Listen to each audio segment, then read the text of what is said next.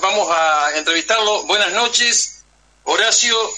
Horacio Robelli es licenciado en Economía, profesor a cargo de la asignatura Política Económica en la Facultad de Ciencias Económicas de la UBA, miembro de la Comisión de Economía de la Fundación Estado, Trabajo y Producción, vocal de la revista Realidad Económica y columnista del Cohete a la Luna, como los comentaste hace un ratito vos, Tomás. Horacio, buenas noches.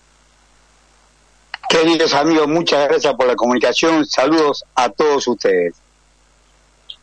Buena, bueno, yo soy Carlos Harris y está Tomás Pérez Bodia que también te va a hacer alguna pregunta y estábamos pregunta le hacemos.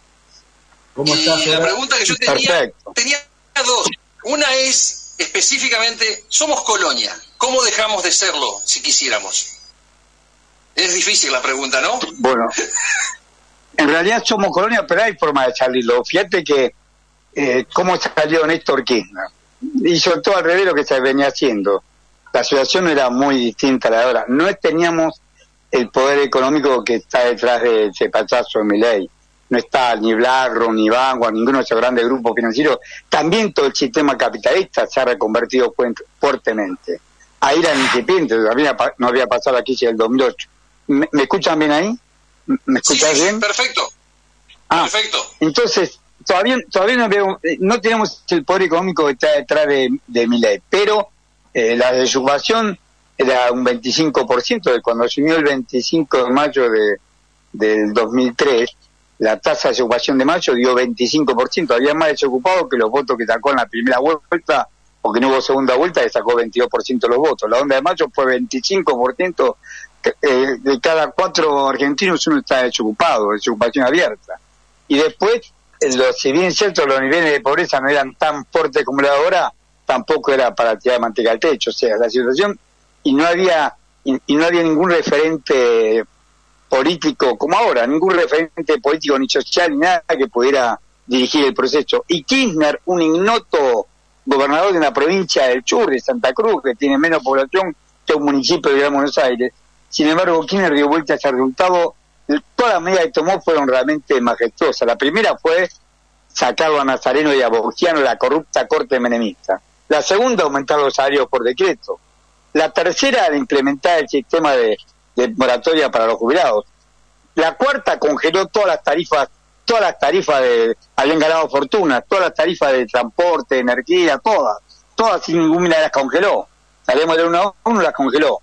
Y después, bueno, se puso a tratar de, negociar el tema de la deuda, que fue un tema muy difícil porque era con, con, los capitales externos, estábamos en default, en realidad el default lo había lo había realizado el interín de la semana que estuvo Adolfo Rodríguez A, pero estamos en default y él fue negociando, le pagó a los a los grupos internacionales, incluido al fondo hasta ahí, hasta hasta, en realidad hasta diciembre del 2005, pero no, no le pagaba a los bonistas y los presionó para hacerle una quita importante, le hizo una quita de más del 60% del capital de la deuda, estiró los plazos, bueno, esta situación tal vez no de la mejor manera, pero la resolvió.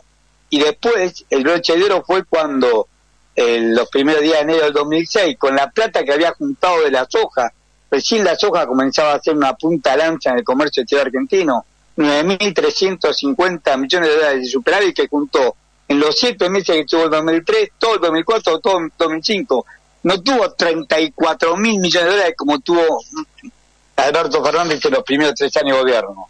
2020, 2021 y 2022. 34 mil millones de superávit comercial.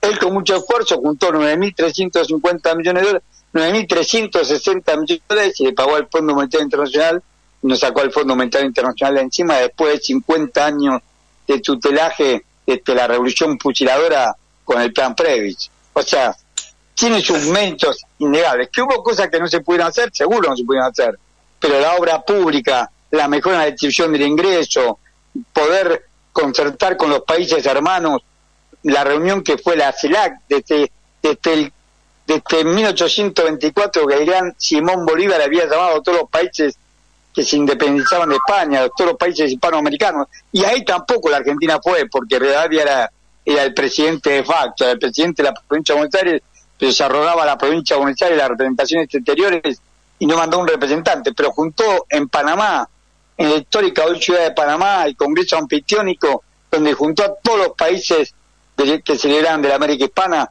ya habían sido derrotados en la última batalla que fue la de Ayacucho del 6 de agosto de 1824. O sea, tuvo esta grandeza de juntarse con, con Chad. bueno, ahora es una situación difícil. De poder hacer y de volver a hacer lo que se hizo. Porque. Muy fácil. porque todos los mecanismos. Lo, lo primero que hay que hacer es investigar la deuda. Nosotros estamos ahogados por una duda que no se investigó.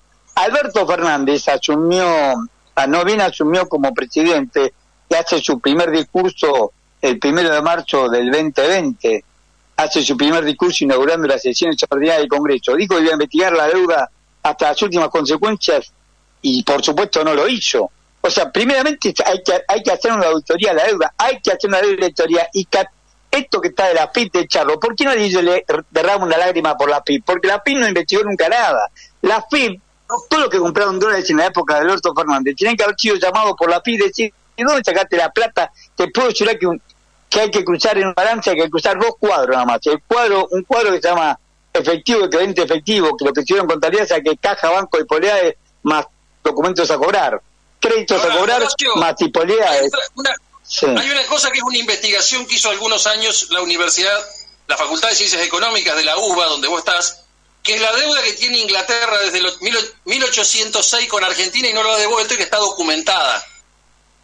Eso no se puede cobrar. ¿Por qué se ocultó esa información? Que solamente yo la vi publicada hace muchos años en, eh, en, un, este, en un diario que era eh, una publicación, ¿cómo era que se llamaba la publicación? No recuerdo exactamente el nombre, primera plana creo que era, donde salió publicado, y es un informe que hizo la universidad con los datos que existían en el Banco Central. ¿Conocéis esa información?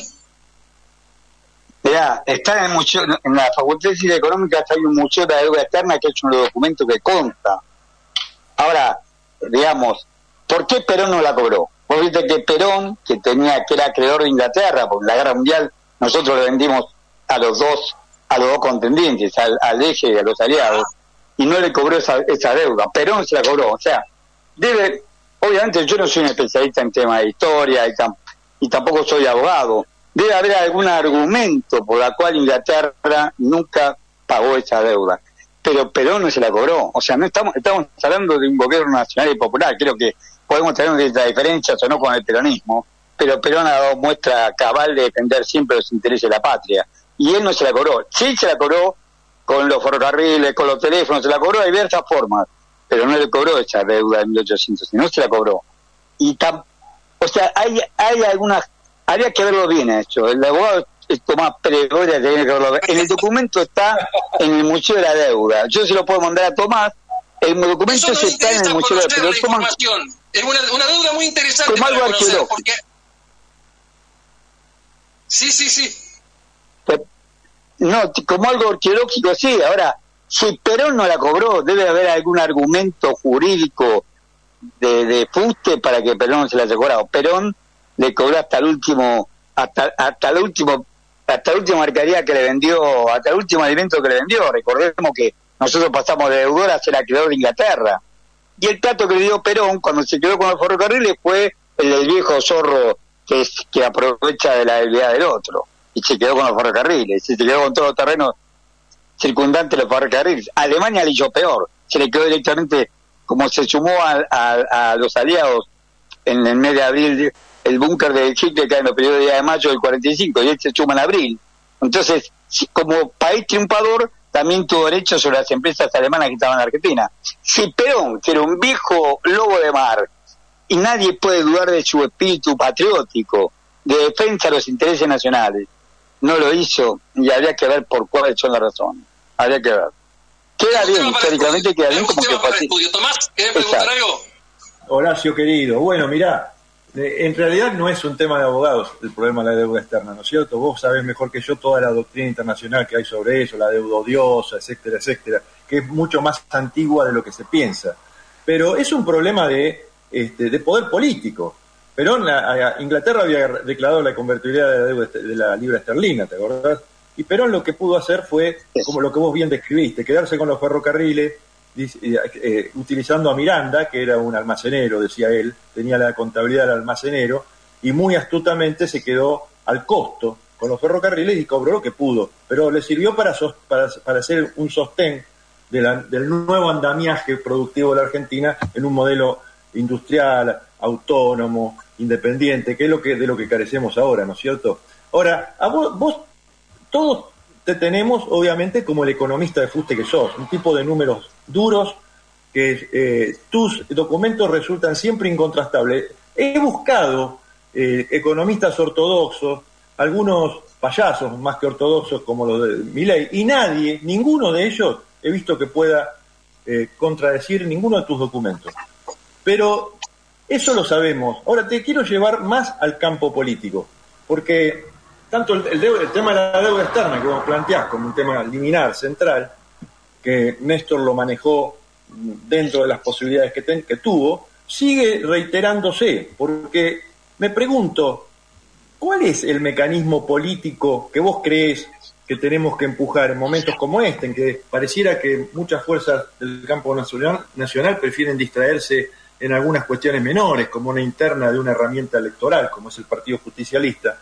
¿Cuál es la herramienta que vos ves como posible en el corto, mediano plazo para restablecer una fuerza política que tome como, parámetros fundamentales de su existencia aquellos que precisamente produjo, llevó adelante Perón a partir del, de, de 1946, de febrero del 46, como el que quiso rescatar Bernardo Grispun, del que vos fuiste su segundo y amigo, y que le costó el cargo precisamente con Alfonsín, porque vivimos una democracia absolutamente condicionada. Entonces, en el marco de esta democracia condicionada, ¿es posible? Y si no, ¿qué tenemos que hacer en tu criterio? Bueno, muchísimas gracias por el concepto. Es demasiado esta persona que siempre ha empujado, empujado el lápiz, siempre hecho de, ayudante catitero, decimos en provincia. El que tiene habilidad con las manos hace la, hace la jaula para cazar la catita, que es un es un lorito danino en realidad, pero es muy vistoso y se lo venden a los turistas. Y el ayudante es el que te dice, en tu jaula está la catita. Vos sos catitero y yo hago ayudante tuyo. Ayudante catitero, digo, en tu jaula está la catita. Mirá, yo lo que creo realmente es que, que esa fuerza política todavía no existe. De hecho, el avance en mi ley ha sido posible por lo que contás vos, porque no hay ningún dirigente político, social o gremial que esté dispuesto a enfrentar al modelo extractivista. No hay de, y los que están son ninguneados por la prensa. Los únicos que aparecen son todos los que defienden el modelo activista. No hay ninguno que defiende, como lo dicho Néstor Kirchner, como lo dicho Perón, como lo dicho Lía, y como trató de hacerlo Greenpeace sin el apoyo de Alfonsín, como después nos dimos cuenta, defender el mercado interno, defender el trabajo y la producción nacional. Eso ya no está en el libreto de nadie. Por eso nosotros con muy poca fuerza nos juntamos en un grupo que se llama Foro de Economía y Trabajo, donde está donde nos apoya un sector de la CQT, el sector de Palo Moyano, de Aber Pulán. Dentro de Mata, Paco Manrique, no Piñanelli, obviamente, sino Paco Manrique. Por supuesto, el gringo Amichetti, de gráficos, eh, eh, Sergio Palazzo de bancario. Las dos, las dos, eh, yo puedo decir por quién voy yo, porque el gremio voy yo a ese, a ese, a ese centro, a ese, a ese foro. ¿Me deja decirlo, Tomás? Sí, sí, sí. Tomás, el foro, yo voy ahí por los canillitas. A mí me, me propuso Omar Plaini. Omar Plaini me pro, presidente de los Andes y secretario general de los canillitas, me propuso que vaya en nombre de los canillitas a ese foro. Bueno, este foro está en la 12TA y también hay las agrupaciones de pequeñas y medianas empresas, APIME, Movimiento Productivo 25 de, de mayo, bueno, varias agrupaciones, no quiero dejar ninguna estamos hablando de esto. Todos nosotros, ¿en qué nos diferenciamos con el discurso dominante?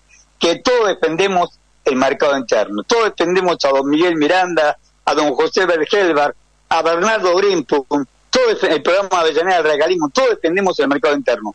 Eso es lo que nos une. Podemos tener diferencias políticas.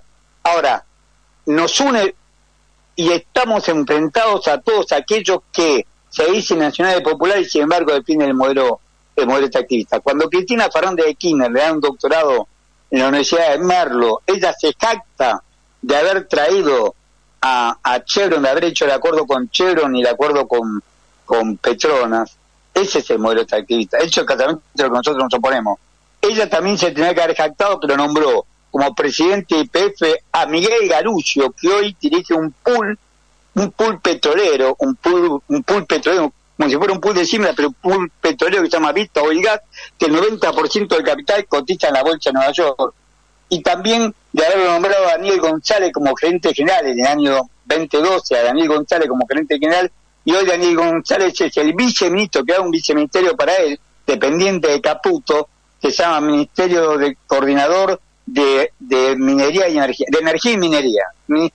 viceministro coordinador de energía y minería, porque la Secretaría de Energía depende de Caputo. Y una muestra del poder omnímodo de este capital extranjero es que ahora lo reemplazan a Eduardo Rodríguez Chirilo, que lo trajo, lo, lo pusieron, fueron los grupos locales, Petrol de Techín y, y Compañía General de Combustible de Umequian. Ellos lo pusieron y la reemplazan por María Tetamante, que, era, que hasta el viernes pasado era la gerente general de NRG Energía, que es otro pool, y en NRG Energía, no hay, no hay que investigar nada, meter en Google dueño de NR, Energía y te dice que son Vanguard, que mayor participación tiene Vanguard, BlackRock, Elliot, Elliot, que fue el, fondo buitre que dirige Paul Singer, el Elliot de Paul Singer y el, el, el, Morgan Bank, que no es el JP Morgan. Digamos, ellos son los que tienen las principales cuentas regionales. Después lo demás eh, son pequeños accionistas que compran y venden en la bolsa de Nueva York. El capital financiero de Manhattan ha penetrado hasta los huesos. Es un cáncer que se ha hecho metástasis y que ha comprado por cobardía o por corrupción o por tapetazo o por lo que sea a los principales, a lo que está en la palestra de la de, la campaña política gremial y social.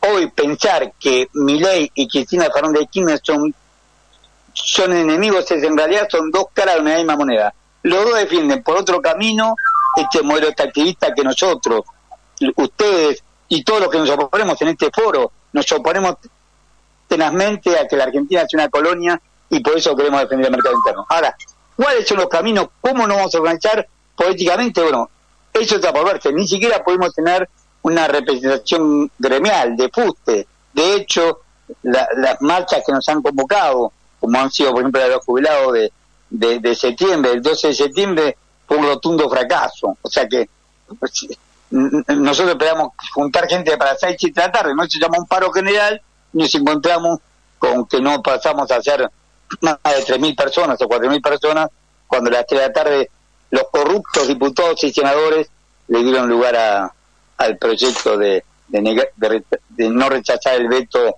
a, de no rechazar el veto para aumento a los jubilados.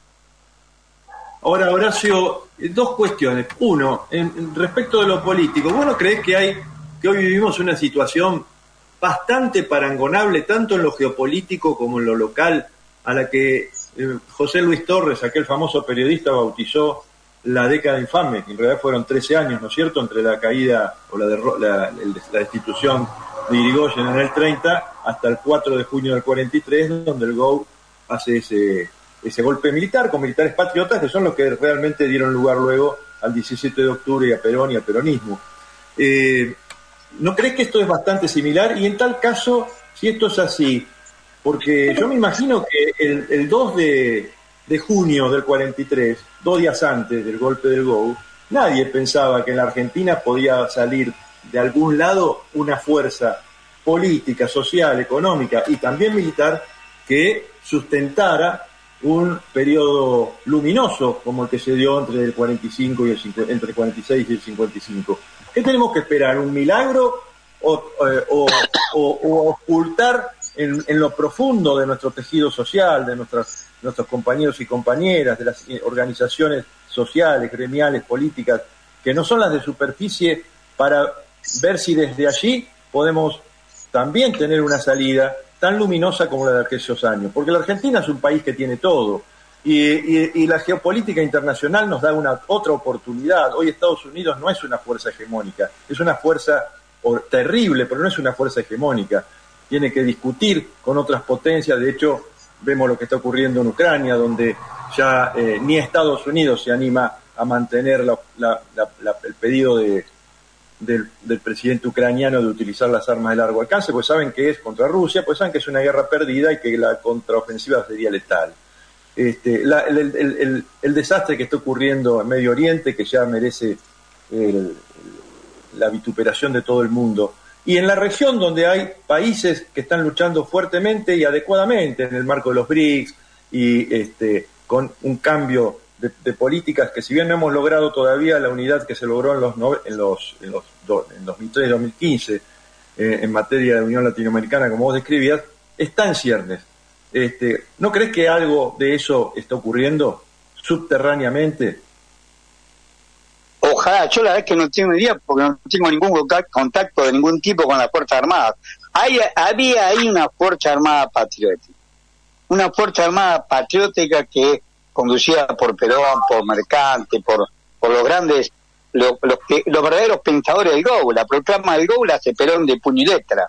La proclama del GO la escribe Juan Domingo, el coronel Juan Domingo Perón de El mismo coronel Juan Domingo Perón que como profesor de historia militar en la Escuela de Guerra del Ejército Argentino le decía a, su, a sus alumnos, la Argentina no tiene problema con los países limítrofes, no tenemos problema de raza, religión. ¿Cuál debe ser el objetivo del ejército argentino? Le dijo la felicidad del pueblo y la grandeza de la nación. Ese era para Perón el objetivo. Enseñamos en la escuela de guerra, están los libros escritos por él, Historia Militar de Perón, donde dice que el objetivo del ejército argentino debe ser la felicidad del pueblo y la grandeza de la nación. Yo, yo no sé si vamos a volver a tener un cuadro militar de esta militar y político, en ese momento militar, como fue el coronel Juan Domingo Perón, y un verdadero patriota, un hombre que amaba a su patria y amaba a su pueblo. Más allá, yo vengo del radicalismo, mi padre siempre decía que se arrepentía de dos cosas, de haber enfrentado el peronismo y de haberse casado. Por la forma que nos trataba a nosotros, estoy seguro que estas dos cosas estaba arrepentidísimo. Pero independientemente de la familia, yo digo, claro, yo vengo de ahí, porque creían que Perón era nazi, porque se habían comido el, el discurso de la derecha liberal de que Perón era nazi y que Perón los iba a destruir a todos, que iba a ser creo que programa era su culto de la personalidad, bueno, todas estas cosas que vivimos y sufrimos, tarde mi padre se dio cuenta que fue una inteligente tarea, mi padre y mi mayores, una inteligente tarea de inteligencia de enemigo para el día del campo nacional popular. Pero hoy ni siquiera tenemos eso, no tenemos activos, vos y yo conocemos gente patriota y valiente, uno sos vos, Tomás, que yo estoy seguro, por eso te digo, vos tenías que tener una figura política, ya salir a la palestra, hoy en el solitario, pero te vamos a acompañar muchísimo, para eh, decir acá estamos, y esto somos. Ojalá se dé lo que está diciendo vos de, de, que como fue la década infame, venga ahora una nueva, El marco internacional es propicio, la situación interna es la que nos debilita. yo soy de Tafí Viejo, cuando yo vi que en Tafí Viejo había ganado en el balotaje, sacó 56% en el nivel nacional, pero en Tafí Viejo sacó el 65%. Eso para mí es imperdonable. Yo sufrí el cierre de los ferrocarriles, los, mis compañeros se tenían que ir porque el padre estaba sin trabajo y tenían que ir a, fueron a Rosario, Buenos Aires, se tuvieron que ir de, Tucumán porque no podían, no tenían más trabajo, no tenían para comer. Esta situación, esta situación eh, fue la que llevó después a, la insubordinación nacional y popular y lo que y que la trajo y lo trajo a Perón. Después, bueno, desencadenó otra cosa porque ahí también la inteligencia del enemigo no paró y supo utilizar a Europa Rega y a otros. Bueno, todo esto que sabemos, que vivimos, que sufrimos, ojalá tengamos una un, un de todo eso, ojalá tengamos cuadros políticos decididos y que encabecen esta, ante esta afrenta, ante el cobarde silencio, el cobarde y la complicidad que es peor de, todo el espectro político más conocido, gremial y social. Bueno, yo creo que, hay, elementos para alimentar la expectativa, no sé si la esperanza, pero por lo menos la expectativa, porque cuando vemos este, eh, resistencias que a lo mejor no tienen toda la fuerza que nosotros quisiéramos ver en este momento, pero que existen los universitarios cuando salen a la calle, que no son las conducciones de la universidad, son los universitarios y es buena parte del pueblo argentino que ve en la universidad, en la que vos sos partícipe pleno como profesor, este, eh, hace a la identidad argentina, a lo que fue la Argentina feliz de tantos años. Sin eso es imposible, la tecnología, la ciencia, lo que los gobiernos populares impulsan. Ahora, fuera de eso, tenemos que entender que hay que construir una fuerza política fuerte eh, y tiene que haber una generación que es la que nos sigue a nosotros y la otra, que seguramente va tomando conciencia. Me da la impresión, Horacio, que uno de los que más colaboración está prestando para que eso suceda, y, eso se le sale del plan original, es el mismo, el, mismo Milay por su brutalidad. Vos imaginate, ustedes imagínense, en mi opinión, que el plan era, obviamente era otro, el plan era masa para la embajada y para este, y para los factores de poder central eh, locales. Era masa, porque masa, vos fíjate que Gabriel Rubisten al día siguiente que asumió de asumir mi ley y de anunciar el, la devaluación del 120%, dijo que estaba muy bien porque era lo que había que hacer y, lo iban a hacer ellos también, porque no había alternativa. Ese era el plan, con una cara un poquito más amable para quienes no conocen a Massa.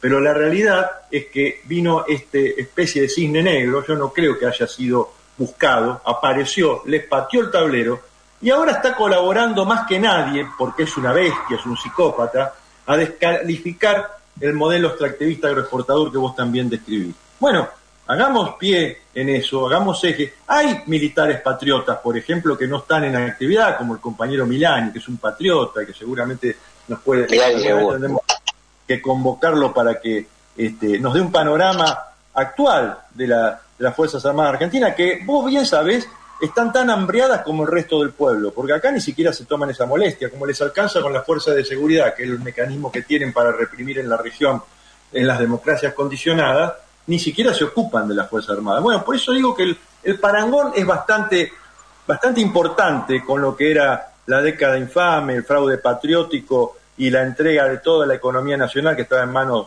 inglesa con lo que estamos viendo ahora, en el, en el mismo momento en que está cambiando de manos el poder mundial, como ocurrió en aquella época, que de Inglaterra pasó a Estados Unidos, que venía creciendo y reemplazándola después de la Segunda Guerra Mundial. Bueno, ahora Estados Unidos está declinante, dando zarpazos de tigre herido y por lo tanto peligrosos y horribles, pero declinante. Creo que hay posibilidad y, y, y el esclarecimiento que hacen compañeros como vos es esencial no tanto como yo, que soy más guitarrero. no, no, como vos sos un político de pute y ves bajo el agua. Yo me acuerdo siempre de esa reunión que te paraste y dijiste, acá hay que hacer tal cosa. Y ahora todo lo que estuvimos ahí, decimos que vos tenés razón. No es que no te quede, si no pensamos que no era el momento, y pensamos en todo lo que estuvimos ahí, yo hablo con varios que estuvimos ahí cuando vos te levantaste, yo creo que como soy nano pensé que te habías parado en el asiento, no, sos alto y te habías parado, y dijiste lo que había que decir. Pero, pero yo te quiero decir una, pero yo te quiero decir una cosa, mira, acá también yo estoy convencido que el candidato era Massa o Rodríguez Larreta, también estoy convencido de lo mismo, pero ahora ley hoy el jefe de ley es Marek Stanley, y el jefe de Marek Stanley es Anthony Blinken, el hombre más servil de la política de Estados Unidos en la región, hoy se llama Javier Milei. Ya ni atiende el teléfono a Unetian o a los Roca, que fueron sus sponsors originarios. Hoy juega lícitamente con ese sector que va a ser cada vez más poderoso porque ahora se quedaron con la ganancia de, de la renta financiera que le dio sus empleados Caputi y Bausili. Pero ahora van a transformar esa renta financiera en el petróleo, gas, litio, de raros, oro, cobre, hierro, aluminio, lo que nos pertenece no solamente a esta generación, a los nietos, nuestros nietos, y se lo quieren quedar ellos impunemente ante el desconocimiento de nuestro pueblo ante el embrutecimiento de nuestro pueblo y ante la cobardía y el silencio de la gran mayoría de la dirigencia política, sindical y social que tenemos.